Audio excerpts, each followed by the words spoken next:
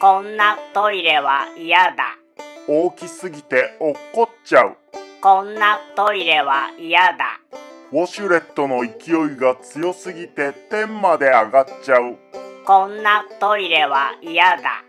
トイレが逆さについている。頑張ってやろうとしても自分にかかっちゃう。こんなトイレは嫌だ。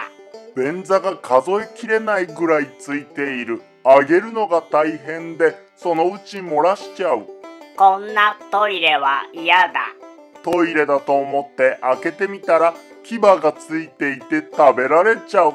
こんなトイレは嫌だ。スカイツリーのてっぺんについていて登るのがめちゃくちゃ大変。こんなトイレは嫌だ。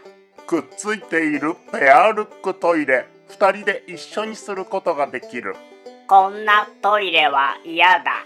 尖っていてお尻にぶち刺さる。こんなトイレは嫌だ。たくさんの人に見られながらしなくちゃいけない。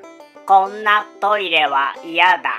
トイレにうんちをするのではなくトイレがうんちをするのでそれをお尻で吸収。